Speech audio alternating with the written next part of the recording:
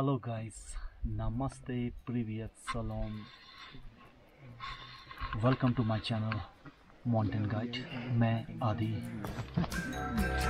ये वीडियो है ट्रैकिंग की जो है जो ट्रैक स्टार्ट हुआ है हमारा गलू से गली से ट्रूम ट्रूम से स्नो लाइन स्नो लाइन से लैंडस्केप और लैंडस्केप से Indrahara pass. Welcome to my channel अगर आपको वीडियो पसंद आए प्लीज़ लाइक करना कमेंट करना और चैनल को सब्सक्राइब करना। और कुछ सजेशन हो तो प्लीज़ कमेंट बॉक्स में कमेंट ज़रूर करना। गुड मॉर्निंग गाइस सुबह के सात बजे। थोड़ा सा लेट हो गए हैं छः बजे चलना था तो सात बज गए। अभी हम जा रहे हैं इंदिरा पास। तो आप नीचे देखेंगे तो रात को टेम्परेचर माइनस में था। आइस लगी हुई है यहाँ पे। जो ओस पड़ा हुआ है आपको को आइस लगी है ये जो ग्रास है। क्रिस्पी टाइप में हो गया ये। ये देखिए। ये क्रिस्पी टाइप में हो गया है। तकड़ी ठंड थी रात को। तो चलते हैं फिर। मैं इससे आगे आपको अकेले जाने के रेकमेंड नहीं करूँगा। अगर आपके पास गाइड है तो गाइड को लेके चलें। आ, क्योंकि स्नो लाइन तक तो ठीक है रास्ता है ऐसे वैसे उसके ऊपर थोड़ा सा रिस्क हो जाएगा। बेटर है, इसके बाद आप गाइड लेके आए, या फिर इसके बाद ना जाएँ। ओके गाइस लेट्स गो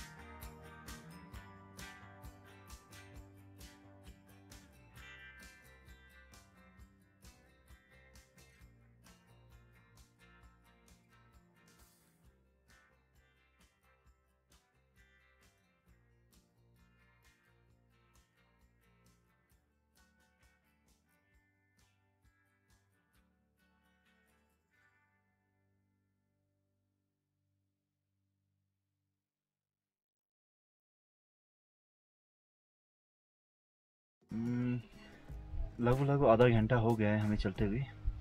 तो अभी भी टेम्परेचर लगभग लगभग दस डिग्री है। तो दिखने में तो ऐसा लग रहा है कि भाई पास में है। पर करीबन करीबन हमें अगर इसके बॉटम तक भी जाएँगे तो उसके लिए हमें अभी आधा घंटा और लगेगा बॉटम पे। उसके बाद जो क्लाइम करेंगे तो तीन घंटे या दो से तीन घंटे लगेंगे ही लगेंगे। देखने में लग रहा है ये पास। पर जैसे ये पहाड़ होते हैं ना, ऐसे पास बोले चलते ही चलते चलते बहुत टाइम लगाएँगे। तो गाइस चलते हैं कंटिन्यू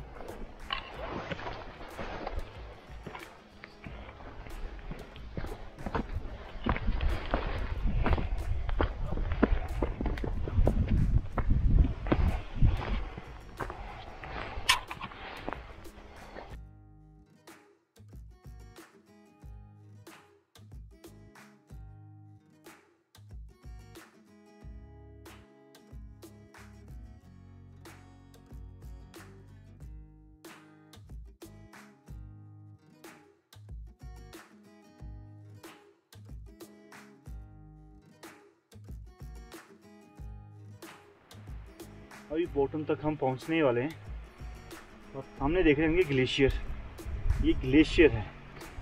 और अगर आप अप्रैल, मई में आते हो यहाँ पे तो ये पूरा यहाँ पे भी ग्लेशियर होगा। नीचे तक बर्फ़ी बर्फ़ी होती है। लगभग लगभग यहाँ से नीचे तक एक किलोमीटर तक बर्फ़ होती है। रवि अक्टूबर, ये अक्टूबर का महीना है तो बर्फ़ काफ़ी हद तक ऊपर चली गई है।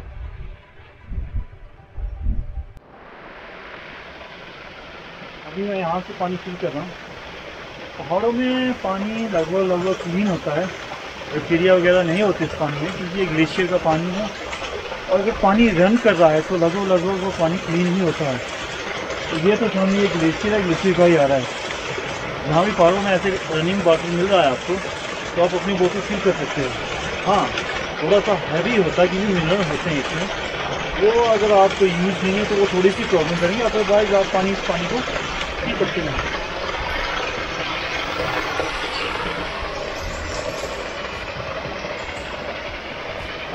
ऐसा लग रहा है पानी बहुत ठंडा है यार, बहुत ठंडा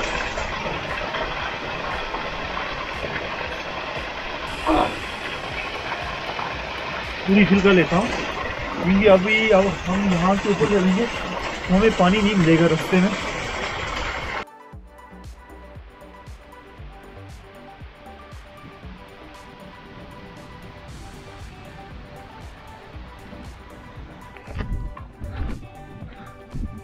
जैसे जैसे हम ऊपर चढ़ते जाएँगे ऑक्सीजन थोड़ी सी कम होती जाएगी। क्योंकि अराउंड ट्री काफ़ी नीचे हो गई और हाइट भी काफ़ी ऊपर, हम काफ़ी ऊपर आ गए हैं। इसलिए थोड़ी सी हो सकता है कि ऑक्सीजन की प्रॉब्लम पड़े। जिनको प्रॉब्लम है हार्ट की तो उनके लिए थोड़ा सा हार्ड हो सकता है, और जो नॉर्मल है, उनके लिए थोड़ा हार्ड हो सकता है।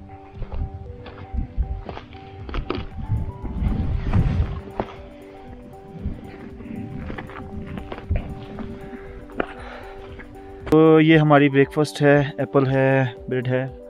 भाई कंटिन्यू कर दे रहे हैं खाने के लिए।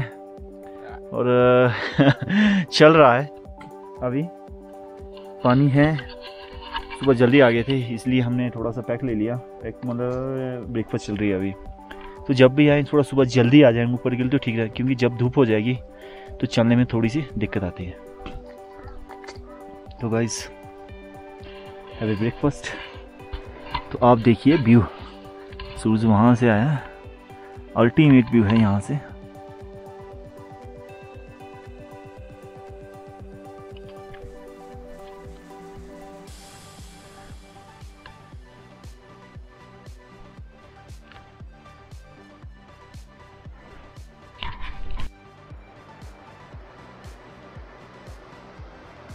लगभग लगभग हम पहुँच गए। यहाँ पे है। लेफ़्ट तो थोड़ा सा बचा हुआ है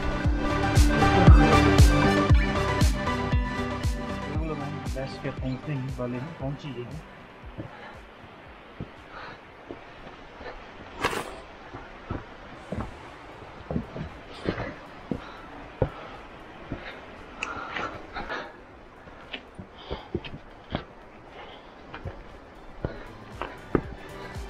क्यों ये फ़ेमस है। लेस केव क्योंकि इस एरिया में इससे बड़ा केव नहीं है। एरिया मीन्स इस ट्रैक में। ट्रैक टू इंद्रहारा पास में डेढ़ सौ से दो सौ, डेढ़ सौ, दो सौ लोग आराम से अंदर आ सकते हैं इसमें। अगर बारिश गिरी हो तो कई जगह से पानी अंदर आता है। बट काफ़ी अच्छा है यहाँ पे रहने के लिए। स्लीपिंग बैग ला के बंदा रह सकता है स्लीपिंग बैग मैट्रेस ला के यहाँ रह सकता है।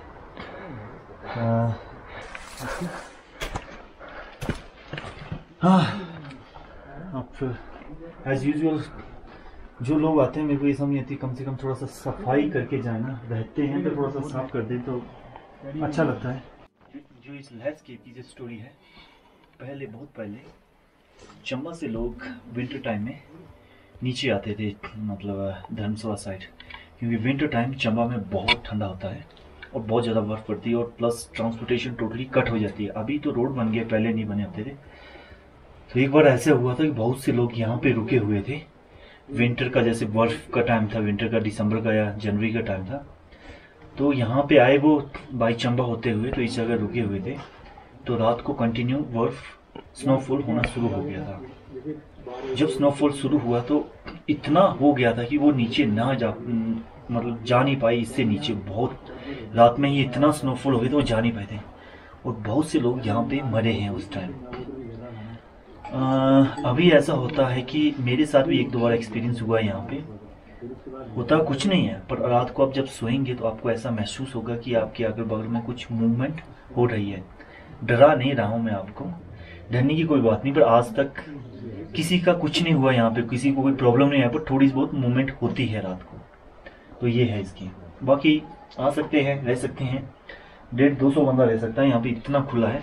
और इस एरिया में सबसे बड़ा जो केव है जो यही है, जो लेस केव है। तो लेस केव है, अभी जो बता रहे हैं, ये है तीन हज़ार तीन सौ पचास। लगभग लगभग हो सकता है, metre hundred metre fifty metre up down हो। तो ये चौंतीस सौ मीटर के ऊपर है लैंडस्केप है।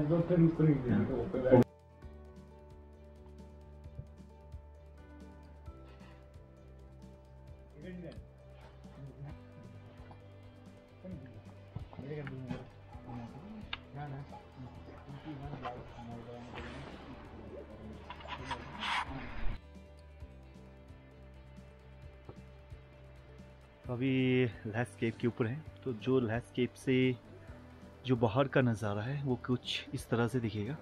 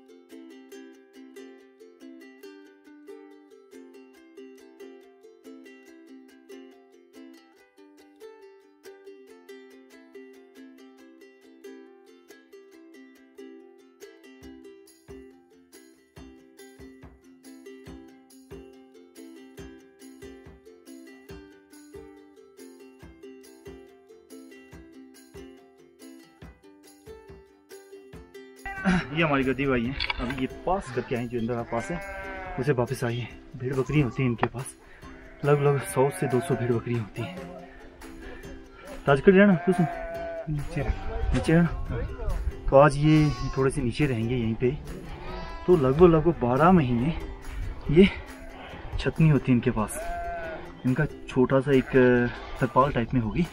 तो उन्हीं में ही ये पूरी अपनी रात करते हैं। देख सकते हैं ये बैग है। इनका पानी का ये डब्बा सा लिया होगा। वो छोटे मोटे हथियार लिए होते हैं इन्होंने। तो ये है इनके पूरे भेड़े। तो लगभग लगभग ये बारह महीने बाहर ही रहते हैं। पाँच चार पाँच महीने माउंटेन में। और जैसे विंटर टाइम आता है तो ये नीचे की तरफ़ मूव हो जाते हैं।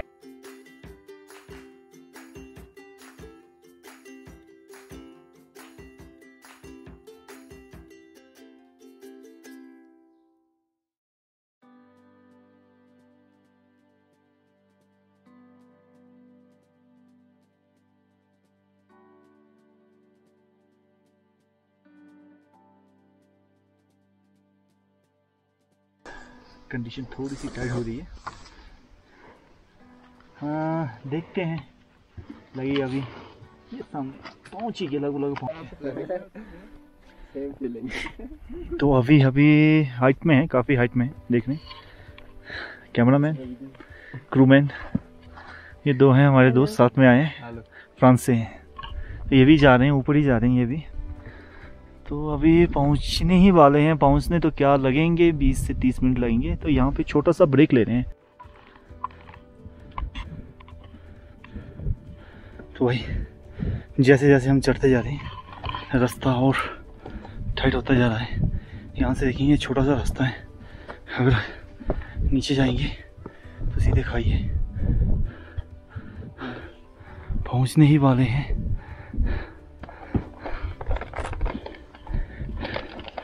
नीचे तक।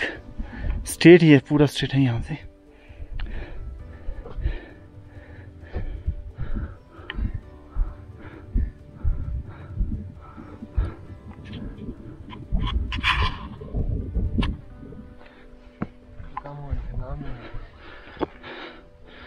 जैसे जैसे ओए, चलते जाएँगे। रास्ता ऊपर तक।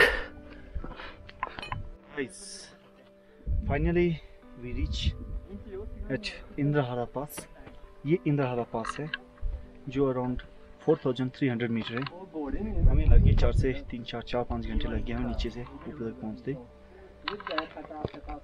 यहाँ तक इंद्रहारा पास है और इसके नीचे देख रहे हैं आप व्यू जैसे देखते जाओगे। ये चंबा वैली के लिए ट्रैक जाता है, वो दूसरा ट्रैक है, पर हम वापस नहीं आते यहाँ से, सीधे चंबा वैली के लिए निकल जाएँगे वहाँ से, होते हुए। और ये सामने जो आपको पहाड़ दिखते हैं, यहाँ से जो व्यू है, ये पीर पीर पंजाल की रेंज है, ये सारे ही। और ये इसके पीछे मेट्रो हिल है। तो नज़ारा तो यार देखने के लिए बट हाँ थके, बहुत ज़्यादा थके। पर जब ऊपर आते हैं ना आप, जब ये व्यू देखोगे ना तो भाई सब थकावट दूर हो जाती है।